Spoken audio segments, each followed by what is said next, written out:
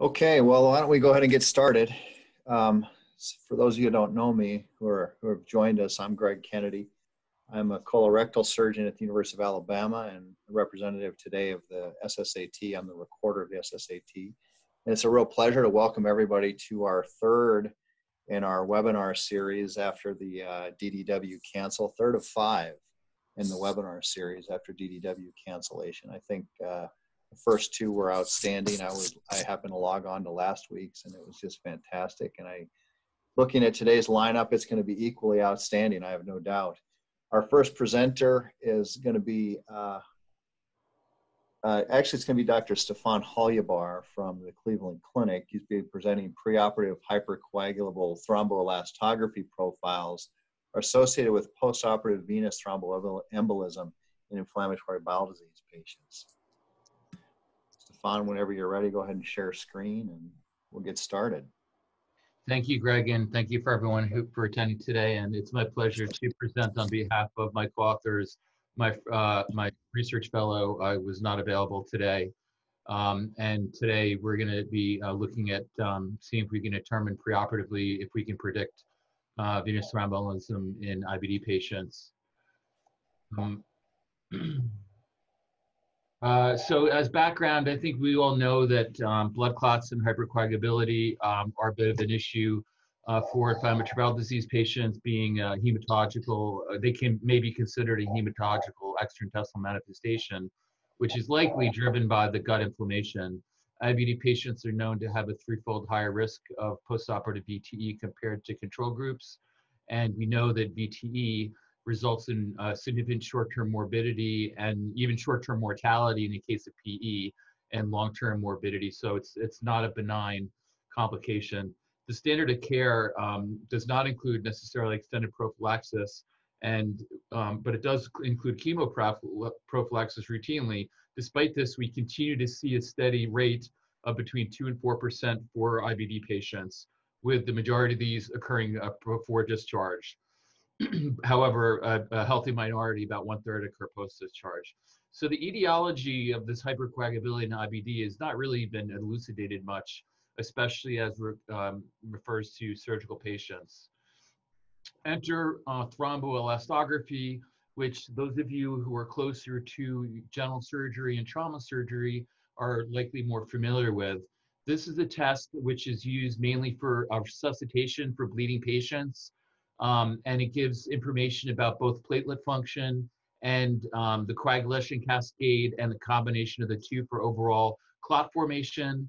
And uh, it's it's affordable, um, it's rapid, and it can result in actionable action, especially for bleeding patients. It's not yet been shown that actionable data can result from this for um, hypercoagulability. And at the bottom of the screen on the right, you can see that it does assess uh, hypercoagulability as well as the coagulopathy and uh, antiplatelet agents or thrombocytopenia. And there's basically, it's somewhat complicated to interpret. Um, you actually have to have a technician draw the graph or the computer draws the graph and gives you these different calculated um, parameters. And uh, in terms of hypercoagulability, um, for the, this is what we've shown is be the um, parameters which are associated with hypercoagulability. So uh, our aim was to determine if preoperative thromboelastography may be used to identify hypercoagulable patients who may be at risk of increased VTE, increased risk of VTE, with the underlying hypothesis that um, thrombo, uh, abnormal thromboelastography or a hypercoagulable TEG is associated with postoperative VTE uh, after surgery for IBD. Our methods, this is the single surgeon, single center retrospective one-year study that included uh, mostly consecutive adult IBD patients undergoing major abdominal pelvic surgery. Um, why the, the reason I said mostly consecutive is I had we had to they had to have a preoperative TEG, otherwise they were excluded. Um, the hypercoagulable, hypercoagulable profile on the TEG was specifically defined according to the literature by a, a, combination of at least two of the following, a low R value, a high degree angle, a high max amplitude, or an elevated coagulation index. And our primary outcome of interest was the 30-day venous thromboembolism rate. And this was a retrospective chart review. in terms of our patients, we had a total of 55 patients that we looked at. And interestingly enough, uh, 20 of these, 36% actually had uh, hypercoagulability as evidenced by the TEG. There was no difference in um, any of the baseline characteristics, the medications, whether or not the surgery was elective or emergent, although the vast majority were elective, um, whether or not they were laparoscopic or open, um, and the length of stay uh, was equivalent in terms of short-term outcomes. Interestingly enough, uh, for our primary outcome, we found that in the normal patients who had normal thromboelastography, none of them had a venous thromboembolism.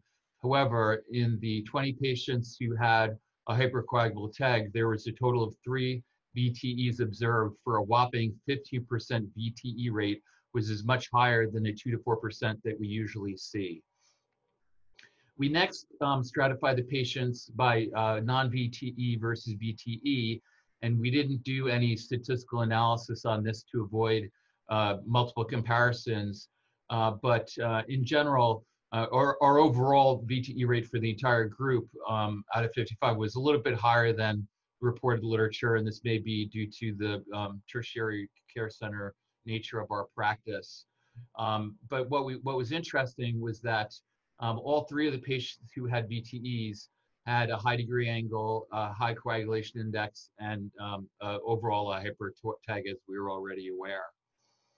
Um, looking, drilling down a little bit more on the um, on the values, um, we did not find a low R value to uh, be um, significantly between different between the VTE patients, the non-VTE patients, nor the high um, maximal amplitude, which is a measure of platelets. And before we did this analysis, my hunch was that it actually, the platelets may be paying, playing a part in this. Um, but you can see the difference in absolute values, they're not that high. So I think we maybe have been underpowered for that.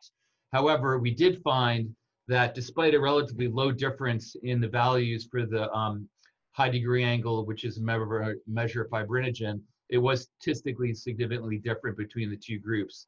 And finally, the coagulation index, which is uh, not used for clinical, it's only used for research, was significantly different um, uh, between the patients who did and did not have VTE. Just uh, briefly um, about the patterns of what we saw for the VTEs. Um, as you saw before, it was a mix of both ulcerative colitis and Crohn's disease of genders and ages. And one of the um, clots was a deep vein thrombosis. One was a, a um, mesenteric venous thrombosis and one was a pulmonary embolism.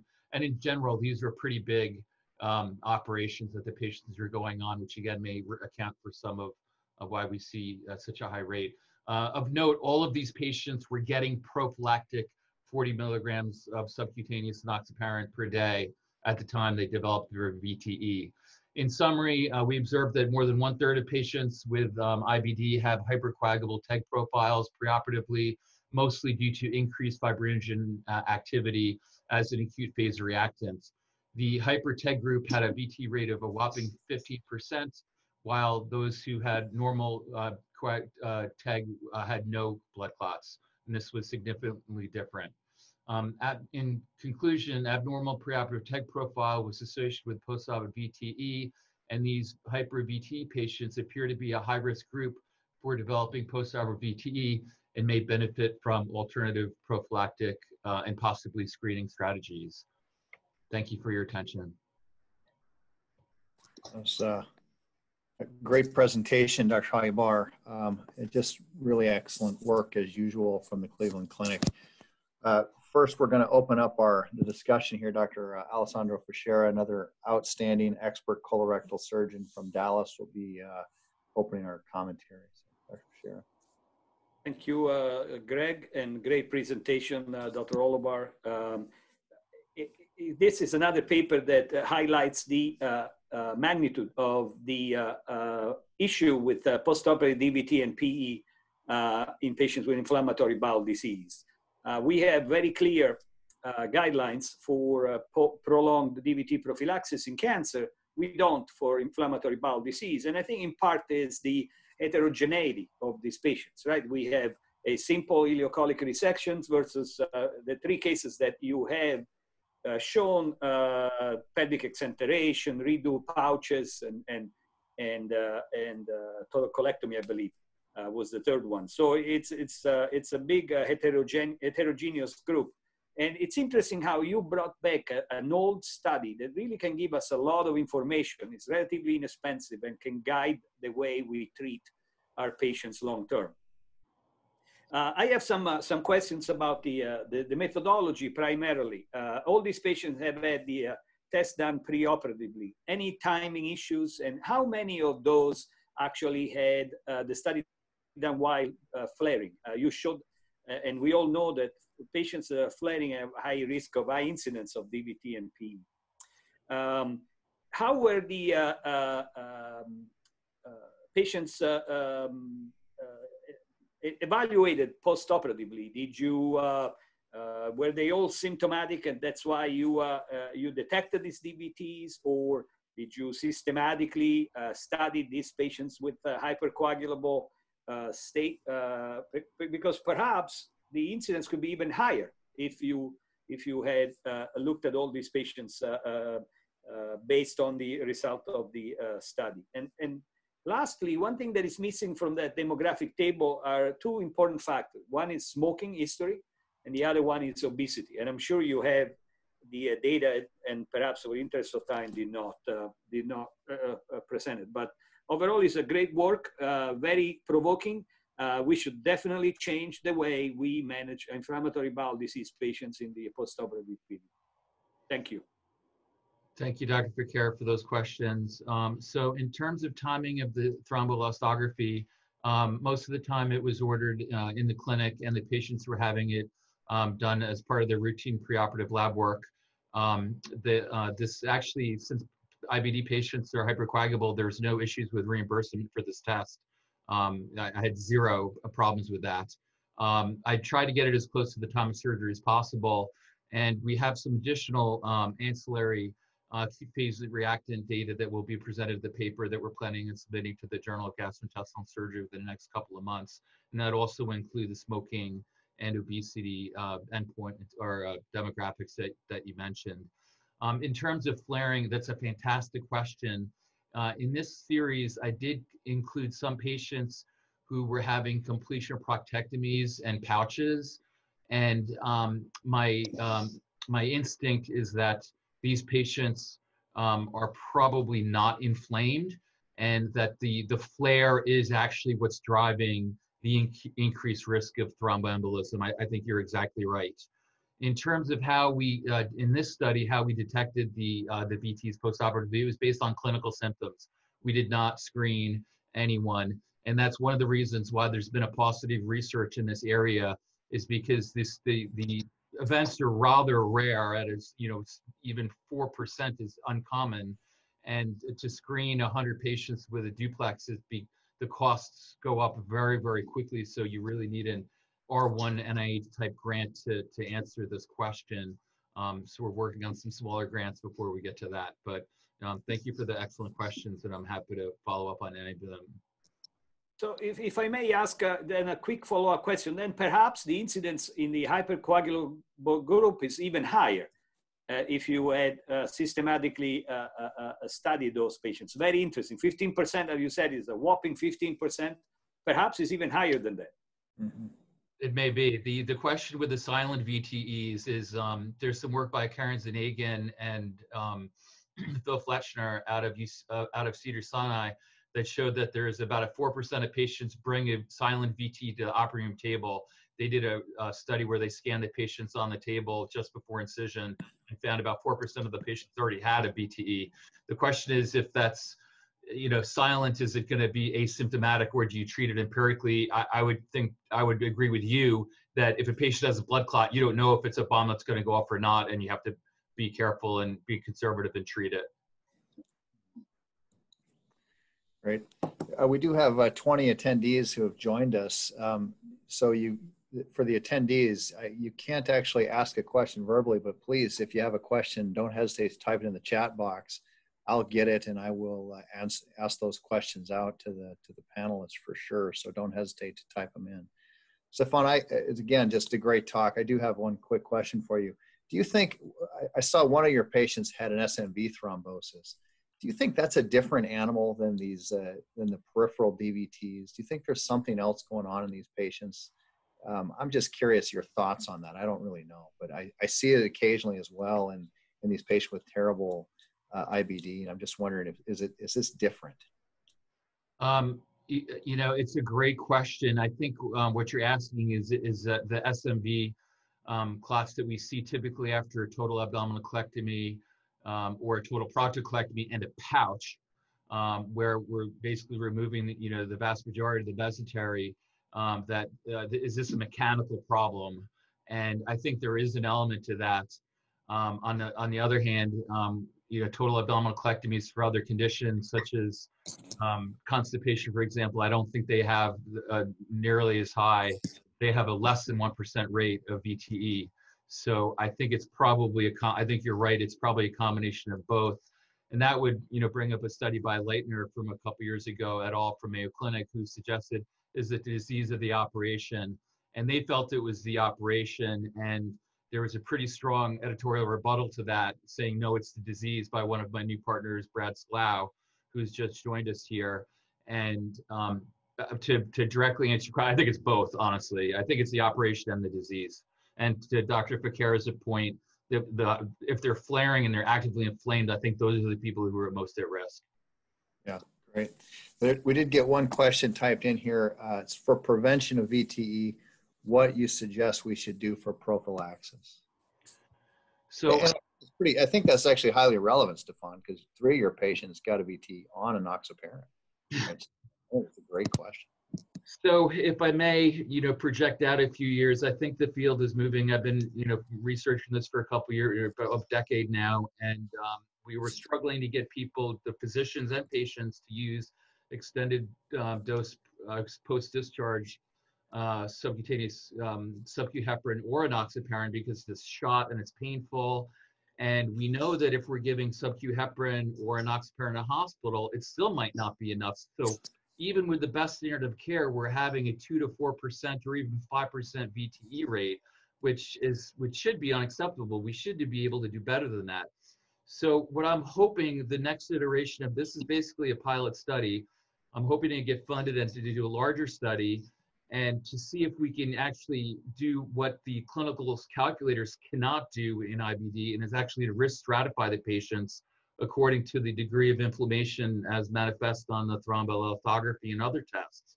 So I might see that the patients who are super high risk, they may require some therapeutic anticoagulation starting 24 hours postoperatively, and people who are ultra low risk may not require anything at all or just standard of care in the hospital.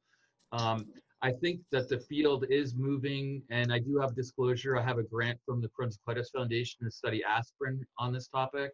I do think that the field is moving towards oral agents in lieu of injectable agents. The injectable agents are expensive. The patients hate them, and um, their insurance they're expensive. And things like aspirin or prophylactic dose Eliquis, I think that's where we're heading. Yeah, great, great. Well, great presentation.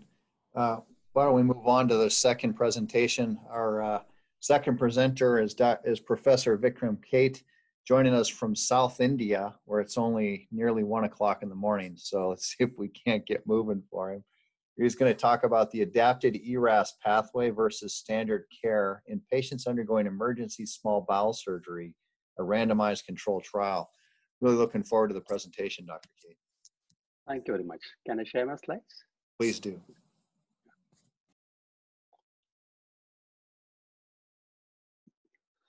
Thank you very much. And I would like to first offer my greetings from my institute, JIPMER Pondicherry, India. And we'll share our experience on uh, adapted ERAS pathways versus standard care in patients undergoing emergency small bowel surgery. It has been done as a randomized controlled trial.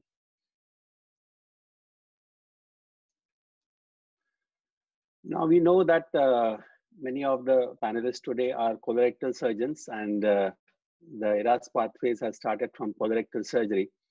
And many proven strategies have been developed for many parts of the elective uh, interstandard surgeries. You have colorectal and now even for pancreatic surgery, you have got a ERAS protocol in place. But when it comes to emergency, there are many challenges because an important component of ERAS pathway is the pre-operative component, which is very difficult to implement in an emergency situation.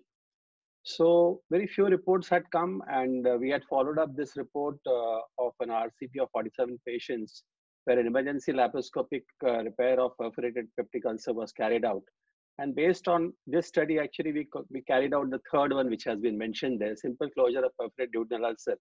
We did a randomized control trial with 102 patients. There are certain retrospective comparative studies in emergencies, small series, and uh, not much has been reported upon uh, in the ERAS in emergency. So we thought we'll carry out a study on ERAS in emergency laparotomies for small bowel disorders because to the best of our knowledge right now, there is no study which has been documented on this aspect. So this study was carried out with the aims and objectives of uh, primary aim of feasibility, efficacy, and safety of adapted ERAS pathways. We have used the term adapted ERAS because, as I said, compared to the conventional ERAS pathways, we, we had to modify it, and the pre-operative component is quite limited in this. And these patients were undergoing emergency small bowel surgery, and the primary objective in any ERAS pathway or ERAS protocol is to enhance the recovery and send the patient home early. So that is why this was a primary outcome, that the length of hospitalization between the standard care and the ERAS protocol. Secondary objectives were the time elapsed till we started oral feeding, whether there was a need for nasogastric tube reinsertion, whether extra analgesics were required, any readmission or reoperation was required, especially in the ERAS pathway protocol, and the other morbidity parameters like superficial and deep organic space infections, postoperative ileus, pulmonary complications, and urine tract infections. This was a, a, trial which was carried out in a, I'm working in a tertiary care center in India, and it was carried from April 2017 to December 2018. It's a single center, prospective, open label, parallel arm, superiority control trial. We had actually taken the primary outcome as uh, the length of hospitalization and made it a superiority control trial. Uh, it was cleared by ethics committee and that's a number which has the, which is the clinical trials registry of India. All consecutive patients more than 18 years were included in the study, which fulfilled the criteria. And all the patients who are undergoing small bowel surgery as uh, emergency planned laparotomy with ASA class 1 and 2 were included in the study.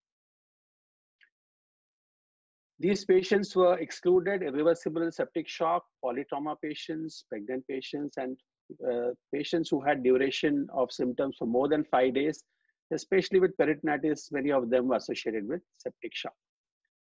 Randomization was done once we decided a decision was made to proceed with surgery. Block randomization was carried out with four and six computer generated random allocation software. And, uh, and the allocation concealment was done with the standard method of SNOSE. And we did the assignment of one is to one ratio to both sides. If any, if any uh, patient required any procedure apart from simple closure of uh, simple small bowel uh, perforation, small bowel resection anastomosis, or a stoma creation, they were excluded after randomization from the study. Uh, in the group one, we took uh, standard care people, and the group two was uh, included with ERAS group of this small bowel surgery. Length of hospitalization was the primary outcome. For with this, we calculated the sample size. It was calculated as 13 each group, and for a dropout of 10%, we added. And uh, there was a possibility of dropout of 10% intraoperatively following randomization. So we added again for that five in each, and the total was 14 each. The statistical analysis was done with the help of this software. Continuous variables like age, length of hospitalization, duration of surgery, time of removal of nasogastric tube, brain, time of resolution, ileus and all that was carried out with the help of independent student t-test. And the categorical variables were expressed as proportions, gender, scores, need for reinsertion of nasogastric tube, need for extra analgesia and complications were done with the help of a chi-square test. And the p-value of less than 0.05 was considered as significant. Preoperatively, uh, counseling about uh, this procedure, we, to, we mentioned to the patient, explained about the ERAS protocol. The non-opioid multimodal analgesia we used and ultrasound guided uh, internal jugular vein cannulation was carried out primarily for the for the uh, CVP measurement, central venous measure, uh, central venous pressure measurement. Intraoperatively, standard anesthetic techniques were used, and we avoided these things: benzodiazepines, morphines, opiates, short-acting opiates sometimes when necessary were used. And uh, in the post-operative phase, non-opioid multimodal analgesia was used. Antibiotics were used for five days. Mobilization was started from day zero itself. Drains less than 100 ml and nasogastric tube less than 300 ml were removed irrespective of resumption of oral feed or irrespective of the presence or absence of bowel sounds. Nil per Orly was carried out till the resolution of ileus and that was defined as as the identification of bowel sounds. Once it was identified, unrestricted volume of liquid driver was given. If the patient tolerated for 24 hours, then it switched over to solid. So these were the drugs, all non-opioid were given in the ERAS protocol group. The drains in the standard care group, the drains were removed whenever they were put in an unrestricted liquid diet if the patient tolerated for 24 hours. In the patients in the standard care group, when the nasogastric tube was removed less than 100 ml per day, and they were with signs of resolution of the ileus. In the standard care group, the nilparoral was started once passage of flatus was defined as uh, bowel sounds, restricted volumes of theophylline started, then gradually increased, and then we started soft diet and normal diet as tolerated. This is the time uh, file of what I have shown. This is the timeline, analgesia. These are the drugs which were used, epidural anesthesia, and some of the patients which was given and was stopped on day two. And as I mentioned earlier, nasogastric tube and the drain were removed less than 100 ml and less than 300 ml. Orals were started immediately on the day of surgery at 12 hours. Assessment was done for bowel sounds. Every six hours it was done. Moment bowel sounds were identified, the patient was started on liquid diet and slowly switched off to solid diet and the patients were ambulated at six hours and then gradually improved. Antibiotics were given from the start when the patient was admitted and up to day five. Intolerance to diet in any form was defined as this pain of moderate and severe intensity, to episodes of vomiting, any episode of diarrhea or abdominal distension. Once this had settled, then the patients were again started on orals. Discharge criteria was tolerate solid diet for at least uh, 24 hours and passage of flatus without complications. Follow-up was done at 10 and 30 days and any complications or need for readmission was noted. Uh, we can see here uh, intestinal obstruction, perforation, gangrene of the gut with the predominantly operated patients on both sides and uh, similar on both sides. And this is the flow chart, uh, the consort flow chart. 82, 106 were assessed for a for eligibility, these were excluded and then uh, randomized to 82 and 40 in each group. Here 42, these patients were excluded because they were due perforation, a particular perforation, and 35 in each arm was analyzed. This is the primary objective, the length of hospitalization. We can see that there is around 2.83 reduction in the ERASA, so statistically significant. All these parameters, mean day of withdrawal of nasogastric tube, first flatus, first stool, then fluid diet, mean time for solid diet, removal of urinary catheters, all these were, these were statistically significant and reduced, the, the duration was reduced in adaptive ERAS group. Complications, uh, although the trend was there, lesser complications in the, in the ERAS arm, but as such, uh, the, the, it was not statistically significant. Okay, pulmonary complications, urinary tract complications, post-operative nausea and vomiting, all uh, were similar according to statistical test. So the strengths and limitations of a study, large sample size, inclusion of maximum possible number of air elements in the emergency setting we carried out. We, uh, uh due to logistic reasons, we are not carrying out minimally invasive approach always in emergency. So all the patients were actually had undergone open surgery and the cost analysis could not be accurately judged because uh, this is a public sector hospital.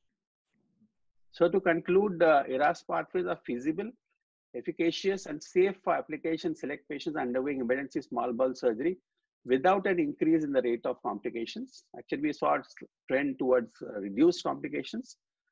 Length of hospitalization was significantly reduced around close to almost three days in the ERAS arm when compared to the uh, standard arm. And this study demonstrated that ERAS protocol can be used, albeit in a modified form, in an emergency setting in patients undergoing small bowel surgery. Thank you very much. Thank you for attention. Yeah, that was uh, fantastic, Professor. Thank you for presenting and, and for submitting the work. I congratulate you Thank on the randomized Thank you. controlled trial. Uh, it's Thank amazing stuff. In, in the emergency setting, no less, using ERAS, I think this is really cutting edge uh, sort of stuff. And, and thinking about the modifications are just really, really great stuff. Um, a couple of questions came to my mind as you were talking. Uh, so first, with your randomization, it didn't look like you stratified for any variables. You didn't think up front of Uh, anything that perhaps you might need to stratify for. Is is that right? Yeah, we have not stratified for anything. Actually, we were thinking that since it's randomized, uh, confounding variables will get balanced on both sides. And Yeah. uh, we were not sure whether any particular uh, uh, factor would be there which will actually influence uh, the length of hospitalization. Particularly, that Sure. was the primary outcome. So that is the reason we didn't uh, stratify any, Yeah, with any factor. That's great. And it also seems as if uh, fluid resuscitation in this in this group of patients may have to be thought of a little differently. Did you uh, your goals of resuscitation here? What do you typically use in your elective uh, surgical patients under, undergoing ERAS versus in, in this emergency setting? Do you use some different goals for resuscitation?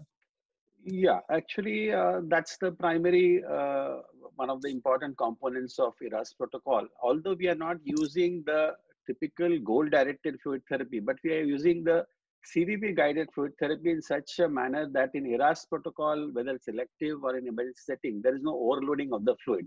So that is Hmm. what we carried out. Yeah. We have not yeah. used any stroke volume, anything to find out actually the the the documented uh, goal-directed fluid therapy, but we use the CVP. For so you're using CVP. You use that as Yeah. well in your elective situation? Yeah, the same thing. Um, s- s- we got a couple of questions that have come up here. Um, let's see. So first, uh, do you consider electrolyte imbalance while assessing return of bowel sounds? Uh, yeah, we are actually all patients of uh, in the emergency setting, even in elective setting, they will have uh, routine post-operative uh, emergency uh, electrolytes being done on serial path you know, on uh, serial measurements, and we did not find any particular difference that any electrolyte imbalance has led to any delay in resolution of ileus in this particular setup. What we studied around 80 patients, and that affecting the cause of uh, delay in the length of hospitalization. Okay. And then a second question from one of our uh, uh, um, webinar participants is what antibiotics were used for the five-day period described in the post-op protocol, and did all patients receive the same dose of antibiotics? Yeah, yeah, yeah. Basically, it's the departmental protocol antibiotics. We use uh, uh, uh, cephalosporins and then for gram negative, the standard protocol, and uh, we al- always use uh, mm, imidazoles with that. Yeah. These are antibiotics. Antibiotics were similar on both both the arms. Both the arms. Yeah, great. That's wonderful. So I, I'm curious about the um, about the the goal directed therapy in ERAS, and I'd like to ask Dr. Fichera, do you guys use any in your um, ERAS protocol? Do you have any goal directed therapy that you guys implement or that you you all utilize there in Dallas? Yeah, we have uh, in the uh, in the protocol some uh, standardized parameters. We do not use uh, Doppler for that matter, um, and uh, and we have some uh, very strict parameters in in terms of the amount of fluids that we uh, administer intraoperatively, based primarily on um, vitals and uh, and urine output. We do not do any invasive uh, monitoring. You don't use any invasive monitoring. Um, Stefan has asked a question here. Transesophageal actually monitoring is one of the methods. Transesophageal monitoring, uh, invas- it is invasive monitoring for uh, goal-directed fluid therapy. Transesophageal. Yeah, yeah, yeah. Stefan's asked a question here. Um, he's asking if if there are any dis- difference in readmissions. He may have missed No, that. He No, acknowledges. no, no, no, no difference in the admissions for that. Stefan, how about you guys at the Cleveland? Oh, I'm sorry. Go ahead, Dr. Kate. Yeah, none of the patients had any uh, uh, readmissions. None of the patients had any reoperations. No leaks were there. in both No readmissions. Yeah. Stefan, how about you guys there at the Cleveland Clinic? What do you use for goal-directed therapy for your uh, ERAS protocols? Yeah, we also are not really doing uh, anything special. We're trying to use a zero balance fluid approach. We know that uh, restrictive um, therapy is actually harmful. It increases renal failure. Um, and the standard of the former standard of care of just flooding them with volume is just not results in an excessively high rate of ileus. So we try to go for the, you know, the um, slate to the right of the bottom of the inverse, but the U-shaped curve. Um, just erring on the side of restricting the amount of fluid rather than um, or not giving them too much, so to speak. But we're not using any special equipment here. At Dartmouth, we were using um, the various combination of the um, arterial line, LiDCO, and other product Cheetah products to try to help um, with the goal-directed therapy. But here in Cleveland, we're not doing goal-directed therapy. Yeah, that's great. Yeah, the CVP is really novel, but it, I guess it requires a central line on everybody, huh, Dr. Kate? Yeah. Yeah, yeah, that's great. Well, it's great work anyway. Thank you for, for presenting. And again, a Thank you. randomized you very much. controlled Thank you very, trial with the settings, just thank you very much impressive. for the opportunity. Yeah, Thank yeah, you. thank you for coming. On behalf of all my authors, I would like to thank for this opportunity at. SSAT. Thank you very Yes. much. Thank you. Uh, You're welcome. Thank you for, thank you for submitting and, and for joining us at uh, one o'clock in the morning, 1:30 in the morning, I guess. yeah, it's That's one great. zero six now. Yeah. Yeah, that's wonderful. Well, let's let's move on then to our last presentation. Um, last presentation for the day comes from the Mayo Clinic. Uh, Dr. Veeravich Yuri Jaruvongvanich uh, is going to present long-term outcomes of Roux-en-Y gastric diversion after failed surgical fundoplication in a large cohort. You go ahead and share your screen, Veeravich, and Okay, I share my screen now thank you. and it's working. Okay. Okay, thank you so much for this great opportunity to present my work. I have nothing to disclose. So surgical fundoplication is a standard surgery for GERD. Uh, its efficacy decline over time. Up to 20% could develop symptom recurrence or dysphagia related to a dysfunctional wrap. Redo fundoplication is a viable option, but it is associated with higher complications and lower success than a primary operation. Conversion to Roux-en-Y gastric diversion is an alternative approach. It could alleviate GERD by acid and bile diversion and relief of dysphagia from the takedown of the prior wrap. However, this surgery is considered challenging uh, with adhesion and scarring from prior surgeries. We aim to study long-term outcomes and adverse events after Roux-en-Y gastric diversion for failed fund fundoplication. This was a retrospective study in a single tertiary referral center. Patients were adults who underwent Roux-en-Y gastric diversion for uh, with fundoplication takedown for failed fund fundoplication. The study period was from 1995 to 2019. Failed fundoplication was defined as persistent or recurrent intractable GERD or having symptoms related to a dysfunctional wrap warranting an operation. Roux-en-Y gastric diversion was done with complete takedown of the previous fundoplication. Esophageal jejunostomy was performed if the stomach was not viable. Regarding our subjective endpoints, GERD resolution was defined as discontinuation of acid blockers in the absence of GERD symptoms. GERD recurrence was defined as recurrence of the symptoms with a resumption of acid blockers. Severity of dysphagia were classified uh, as no dysphagia, mild dysphagia, and severe dysphagia based on the ability to take liquids or solids. New onset dysphagia and percent severe dysphagia were defined as their symptoms compared to their baseline symptoms before the surgery. These were all done uh, based on a chart review. Regarding our objective endpoint, as some of the patients underwent upper endoscopy, esophagram, and or high resolution manometry if clinically indicated. Patients who had pre, uh, paired pre and post endoscopy and esophagram were assessed for changes in the degree of esophagitis, Barrett esophag- esophagus, and esophageal diameter. High resolution manometry were reviewed by a single investigator who was blinded to the patient outcomes. results. During the 24-year study period, 101 patients were reviewed. The mean age was 52 years, 86% uh, was female. The mean BMI was 35.8. The median follow-up duration was 56 months. About one third of the patients underwent more than one fundoplication before the gastric diversion surgery. The main indication of this surgery was GERD in about 96%. A subset of the patients underwent this surgery for their bloating or dysphagia. 15% underwent esophageal jejunostomy, whereas the rest underwent gastric bypass. An open approach was performed in almost uh, half the patients. Regarding our clinical outcomes, GERD resolutions after the surgery was achieved in 70%.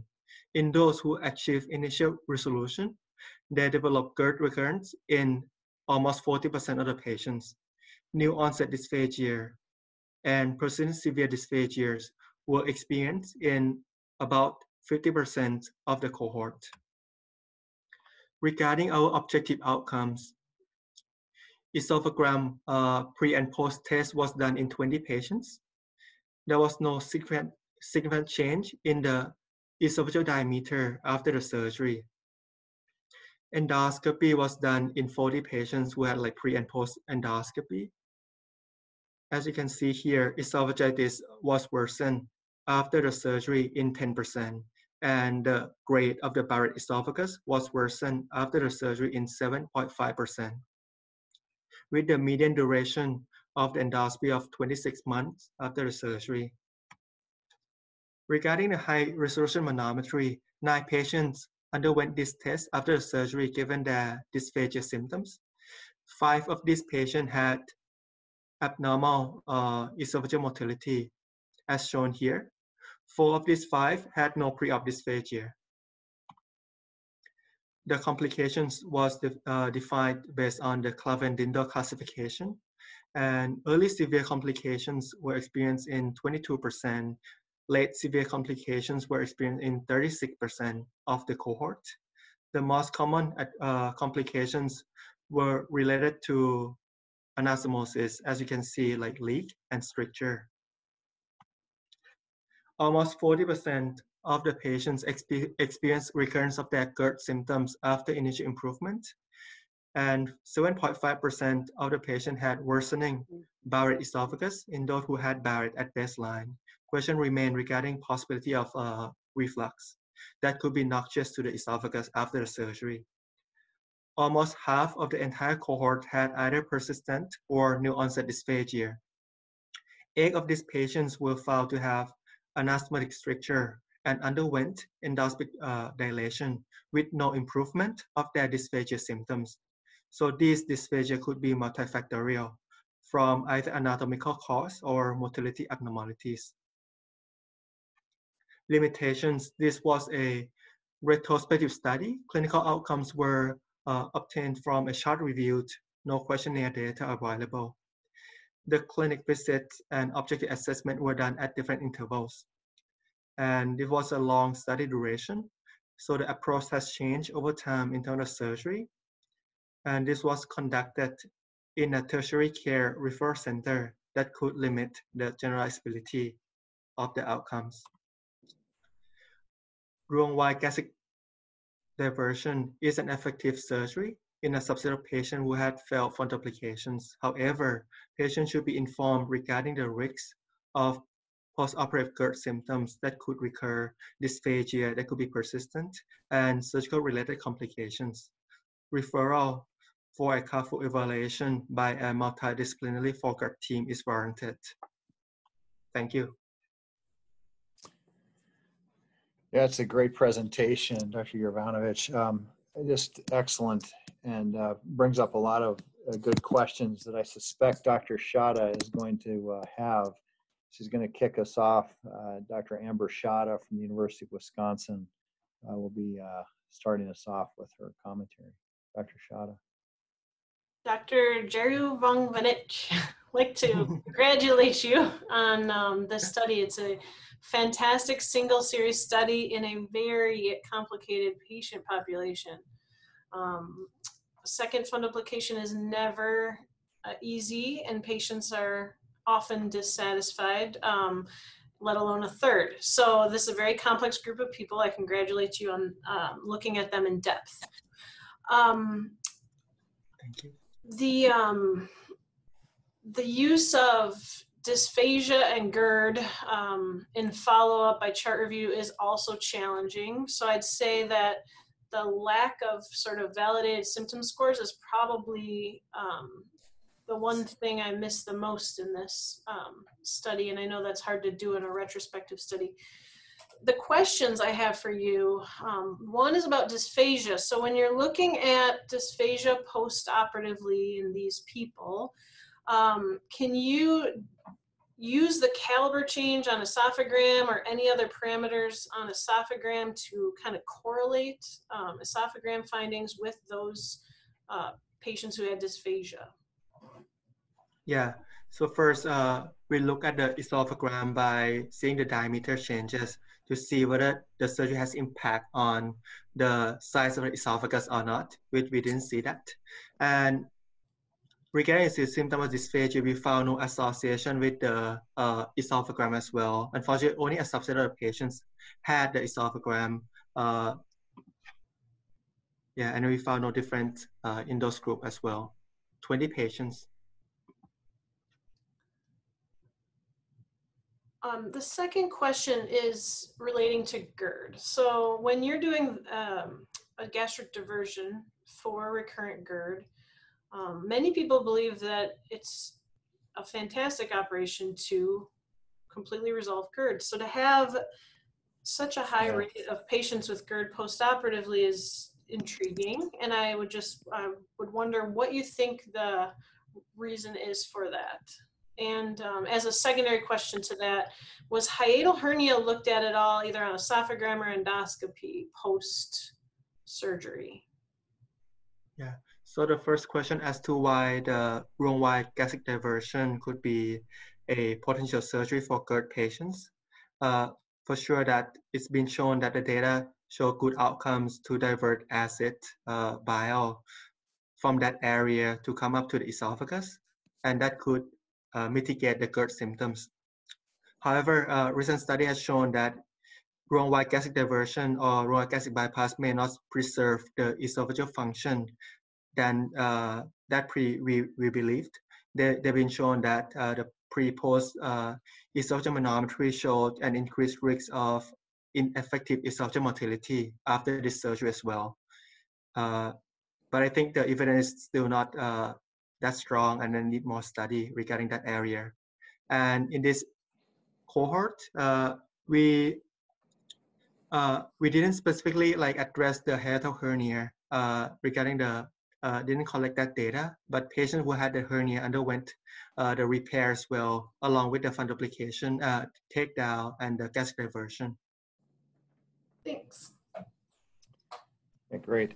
Um, we've got two questions that, that have come in from Dr. Ribeiro in the question and answer set uh, part here. They're both sort of related. So the first is the size of the gastric remnant. What's the size of your gastric remnant? And the second is the length of the afferent bowel limb in these patients. Yeah. So the the size, uh, the the length of the afferent limb. Yes.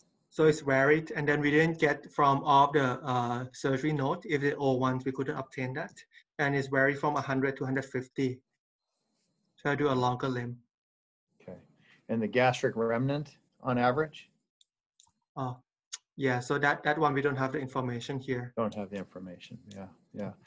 Well, I, I have to tell you, Veeravich, I think I might have found another disease that I don't ever want, which is recurrent uh, GERD after having a Nissen. This sounds like a terrible problem. Being a colorectal surgeon, I don't know much about it, but the outcomes don't look to be great to me because it looks like half of your patients have recurrent symptoms either by diagnosis or back on an acid blocker. So Yes. if that's the case, I mean, what, what, what's the answer for these patients? It, it, Yeah, so it may uh, be this, it may be esophagojejunostomy or Roux-en-Y gastric diversion, but that doesn't seem to be ideal either. So what, what, what are other options?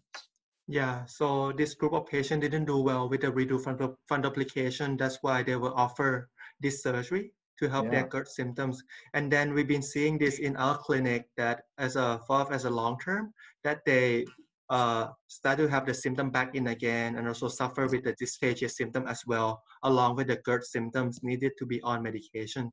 That's why we conducted this study to see uh, the entire cohort, uh, especially the long-term outcomes. And yeah, that we, we, we, couldn't uh, recommend like any good option as of now. Yeah. What do you think about LINX? Is that going to play a role rather than this radical uh, Roux-en-Y gastric diversion? Could LINX play a role as an adjunct or something else? Yeah, so uh, I yeah have not yeah No not idea. much experience about it. Yeah, Yeah, I suspect not. I Amber, I don't be know. interesting to I- study more. Mhm. Yeah. Uh, t- LINX typically not used after a fundoplication's been put up. So first time only. Great. Stefan, you have a question? Yeah.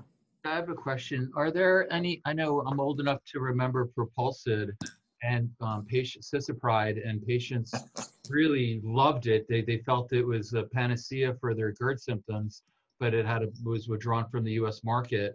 So my first question is, are there any newer medications um, coming down the line that you're aware of that might help um, increase gastric emptying? And my second question is from a colorectal perspective, similar to Greg, Dr. Kennedy, who I don't really know a lot about this, but it would seem that you're doing the bypass to try to increase gastric drainage. So has anyone looked at just trying to do a pyloroplasty to try to increase the gastric emptying? Okay, yeah, thank you for your questions.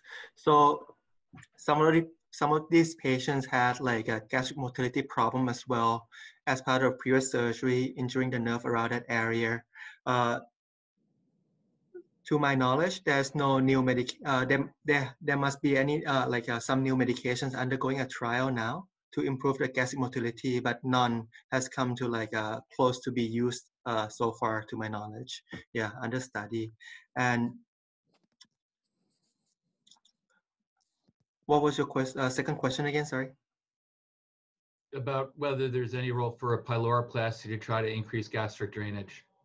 Yeah, so some of these uh, patients also underwent the pyloroplasty too. We didn't include in this cohort because they got this uh, impaired gastric motility. Yeah, despite those in a subset of patients who underwent the surgery, some of them could also develop GERD recurrence after the surgery. Thank you. Yeah, I have to tell you, Stefan, I, I love the Cisapride question. I wish we still had it. That doggone Torsades just just took it right off the market, though. Huh? That did work really well. Let's see. The second question, we have another question here from Dr. Diaz. Did you reevaluate for functional esophageal problems? Yeah, so this patient uh, only retrospective reviewed and some of them got this uh, high resolution manometry to assess the motility problem with the dysphagia symptoms. Nine patients got manometry and five of them got abnormal motility disorder. And all of these, they got endoscopy as well, didn't show any stricture, anything in the area. Great. Good. Well, I, I don't see any other questions in our chat box or in the QA box. If the panelists don't have any other questions, I think this has been just a spectacular session. I want to thank the panelists, thank our presenters specifically, Dr. Kate for joining us from South India, Veeravich from joining us from the uh, that uh, weather's trodden Mayo Clinic up there in Rochester. It's probably pretty nice by now, I guess. Probably just lost the, the winter last week. So thanks for joining. Um, Stefan, thank you for your presentation. Excellent job, all three of you. I really enjoyed this. Uh, next week will be the fourth uh, episode of the SSAT webinars. So please hope everyone can join in and uh, stay safe. And thanks again.